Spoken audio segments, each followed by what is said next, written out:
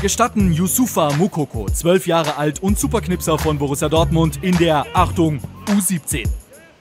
Der Kameruner liefert am 11. Spieltag der B-Junioren-Bundesliga Staffel West gegen den MSV Duisburg erneut eine Gala. Seinen ersten Treffer legt er sich sozusagen selbst auf, denn nach diesem Foul an ihm gibt es Elfmeter. Logisch, Mukoko schießt selbst und macht sein 22. Saisontor. Ein Zwölfjähriger dominiert deutlich ältere Gegenspieler, wie er will. Klar, dass da Zweifel am Alter aufkommen.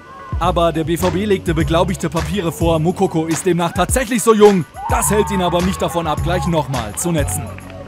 Dortmund gewinnt 6 zu 0 und ist Tabellenführer vor dem FC Schalke.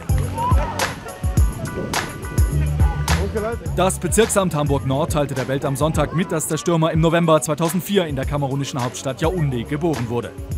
Und auch BVB-Pressesprecher Sascha Fligge bestätigte, dass dem Verein Geburtsurkunden aus Deutschland und Kamerun vorliegen. Es wird also noch einige Jahre dauern, bis Wunderkind Mukoko alt genug ist, um auch in der Bundesliga zaubern zu können. Bis dahin lohnt es sich aber in jedem Fall öfter mal bei der Jugend des BVB vorbeizuschauen. Dort gibt's nämlich ein echtes Juwel zu bestaunen.